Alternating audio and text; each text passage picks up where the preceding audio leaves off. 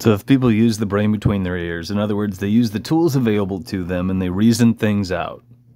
I'm talking about connecting the dots, piecing shit together, painting a big picture, if you will. Most people would not open their mouth because they open their eyes, so to speak. That's not what takes place in most situations. So this is in reference to is his name Mark Pazio, Pazio, whatever the fuck. He functions as a controlled opposition asset. This is a video that I shit all over because it's as superficial as it fucking comes.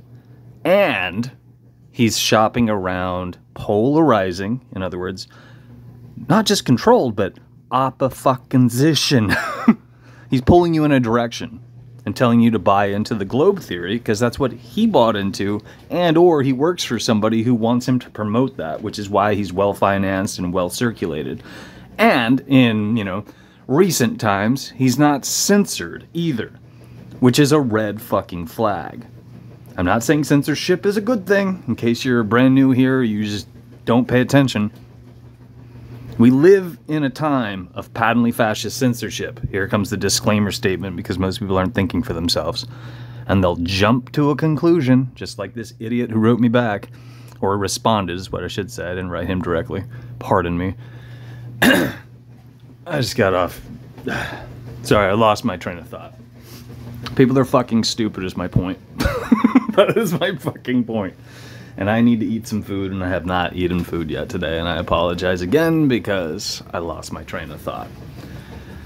Shit like this wouldn't be taking place. People wouldn't be polarizing you. People would know what reflects reality by and large. And when you bump into an idiot who is shopping around divisive propaganda, people would call bullshit because people would be challenging others and doing the right fucking thing.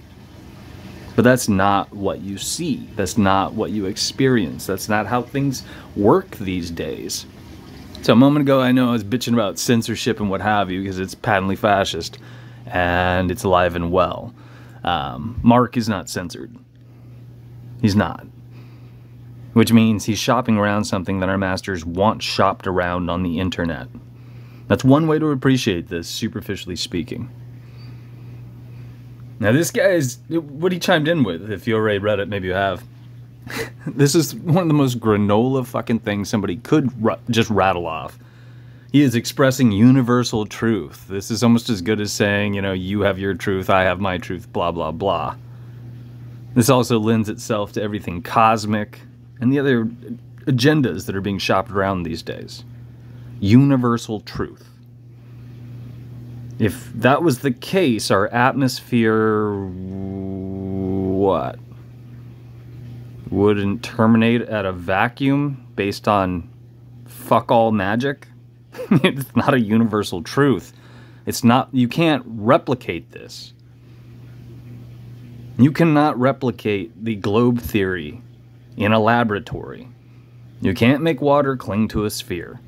You can't create an atmosphere that magically terminates at the threshold of a fucking vacuum, which means this is not a universal truth. And anybody who thought for themselves could have reasoned that much out. And likely should have. Keep in mind, his universal truth is also associated with all things, you know, satellites, quasars, black holes, you know, the ISS, fuck all Look up the metals used in the, the alleged space station as well as satellites.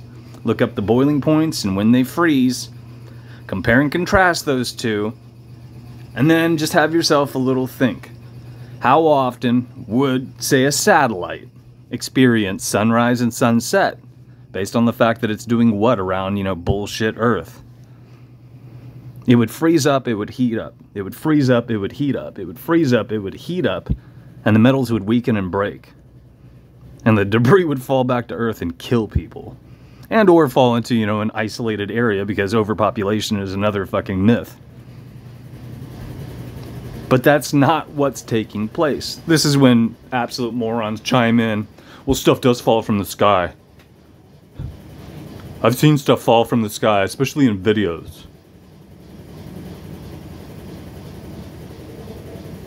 People aren't very bright. it just cracks me the fuck up. It just cracks me the fuck up. Black holes have never been observed, gravitons have never been observed, but people talk about them as if they were fact. You know, they're not factual. But people talk about them as if they are. There are numerous fallacies like this, and these are just the ones that are associated with the globe theory.